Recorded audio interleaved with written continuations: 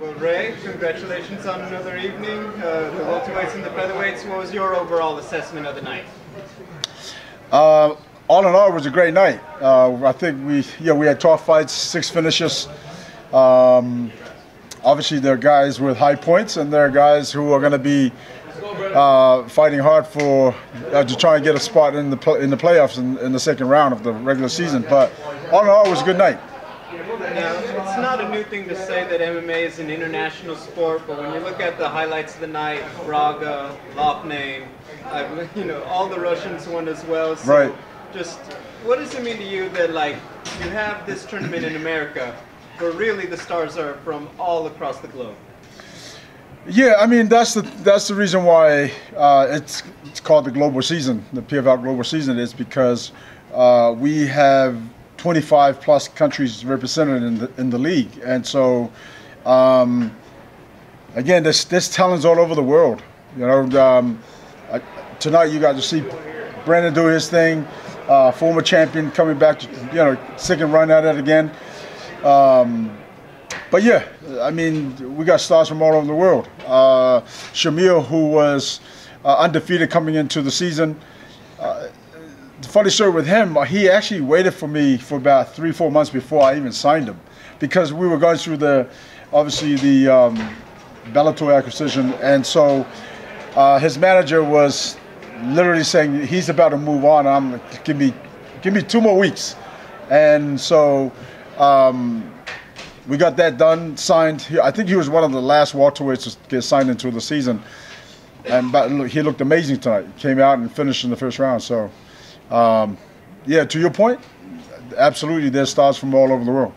Two more from me. With the Bellator acquisition, there's now obviously a lot more talent. How does one even begin to approach matchmaking? It's not just new matchups. Now you got new rivalries, old rivalries. right. How do you do it? Well, you know, um, right after the, the, the first show, I, I put a few things together, and then the, the team and I would sit down on a Monday or Tuesday and go through the, the, the matchups and, and go through um, who won, who lost, and, and, and then make the final decisions on um, the matchups and, and, and pass it on to our, t- our team, which is you know, obviously production, digital, and, and whatnot. And um, so, yeah, it's a whole team thing where we sit down and, and, and make those final matchups and, and final decisions on the matchups. My final question outside of the tournament, and my apologies if this is maybe more for Peter Don.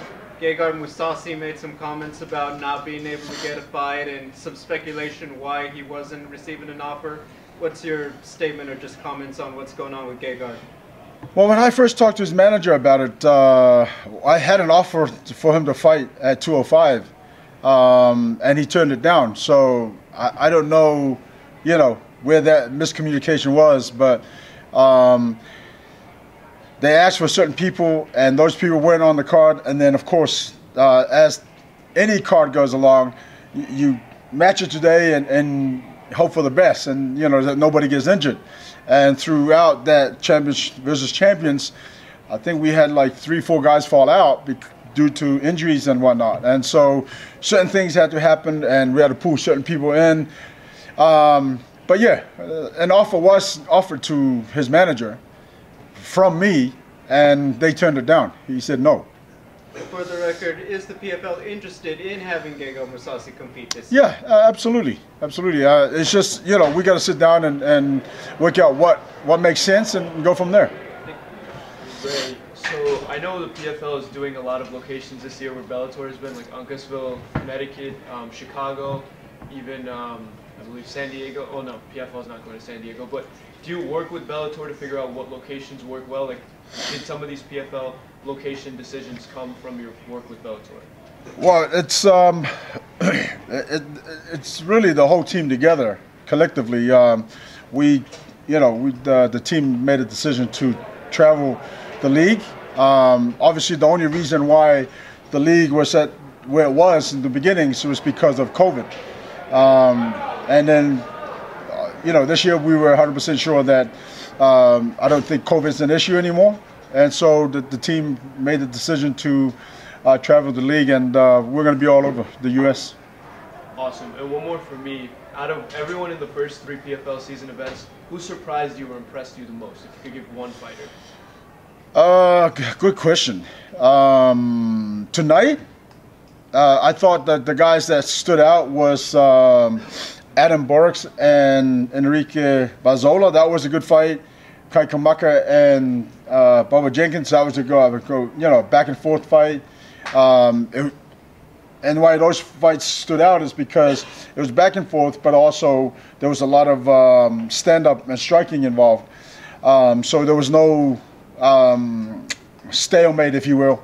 Uh, again, every you know we had a lot of great fights tonight, and uh, couple of fights, obviously because of their uh, grappling background, ended up on the ground a lot. Uh, but yeah, the two fights that stood out tonight was those two fights. Awesome. Thank you so much. And then Ray right here. So obviously the past couple PFL seasons, it's been a lot of uh, familiar faces, same guys in the playoffs. Now that you have such a bigger roster and you have new faces, how excited does that make it that it's going to be much more competitive this season? Uh, yeah, absolutely. It's exciting. Um, if you look at PFL one, we had I think 12 fights and eight finishes. PFL two, which was in Vegas, uh, we had 11 fights and 10 finishes. So everybody's coming out to try and win, but to your point, yeah, it's exciting. It makes um, it, it, makes the league continue to grow, and obviously, as we continue to move forward, um, we'll continue to sign the best uh, agent uh, talent that is available. And then I know you talk about grooming talent, so we have PFL MENA kicking off in a couple weeks. Correct. We have PFL Europe that's already underway. How successful has that been, and is the plan for the winners of those tournaments to enter the global season next year? Well, it's yeah, it's been uh, obviously successful because uh, the winner of the light heavyweights is actually in the season, um, and uh, you know, again, as we continue to grow all the um, the different leagues around the world, we're going to continue to pick up talent, and uh, the the goal for those leagues is to eventually make the season and um, and try and get that championship and million dollars.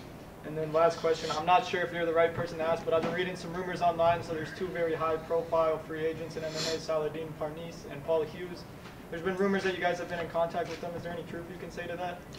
Uh, yeah, there is. We've signed Paul Hughes already. Oh, so keep that to yourself. Thank you, breaking news. I guess just to piggyback off that, what would you say of the first three PFOs uh, so far, or what do you think has been the most successful part about the first three weeks? Because I feel like so far this has been the best part of the three. What, what could you say it's made the first three weeks maybe better than last year or the year before? Yeah, you know, every year it, uh, I feel like we continue to grow, um, not only in in the company but also in the talent. Um, the first, so this last three weeks has been amazing. Again, uh, the first show we had eight finishes. The second show we had ten finishes, and tonight we had six uh, finishes. And um, obviously, you know the fans love when when, when guys come out and, and look for that finish and big points. Um, and of course, when they're when they're out there looking for those big points, finishes are going to come. Um, as you know, you know, you, you finish in the first round, you're you're you're going home with six points, which is uh, which is really um, beneficial and ideal for a fighter, you know, to be going home with six points.